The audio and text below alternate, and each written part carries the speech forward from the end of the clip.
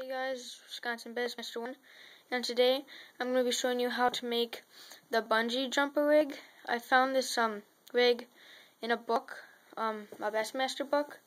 So um some of the things you'll need is a 2 aught offset um worm shank hook, a little um like a jig head, mainly used for crappie or something and a um, either a finesse worm or a trick worm. I prefer a trick worm because they're um, a little bit thicker. And um, I'm, this is a four inch trick worm in green pumpkin. And then last is a, um, a needle nose pliers. If you can kind of see like right here how there's like a sharp fine edge on it, you're going to need one with that because you're going to have to cut off um, this hook and the top of that like little ring where you tie the line on. So um, let's get started. Okay, so first, what you're gonna do is take your jig head. This is a uh, one one eighth ounce, and you're gonna basically cut it right where the hook meets the bottom of the the um like the shank or whatever.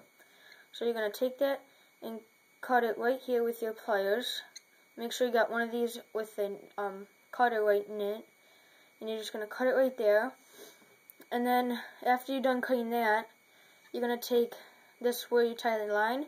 You're going to cut that right in the same spot. And then it should look a little something like this. You can kind of see the difference, how the um the where you tie the line is cut off and the hook shank is cut off so you basically have just a straight thing right here. And then um basically what you're going to do is take your trick worm or finesse worm or whatever you're going to use and take the thicker top half and basically just put it right in there. That's what I'm going to do for you guys. So now it should look a little something like this. It's um got no no that none of that um hook right there so it won't get caught in the bass's mouth or anything. And it's basically just a weight kind of with eyes, you know. And then you're going to take your worm hook. Um, this, it would be tied to my fishing pole, but I'm not going to do that. You're going to kind of go right in the middle of it and kind of do like like you would normally a Texas rig, but doing it in the middle of it. So you take it and go right through and thread the worm all the way through. And then once the worm kind of gets about there, you're gonna, just going to take it, pull it almost through so it comes back out, so you have like a hole, and then just push it through that hole again, but this time without going through the worm, you're going to go straight up the worm, so it'll look something like that. And then basically do a Texas rig with the front of the hook. And then there you have it, your bungee jumper.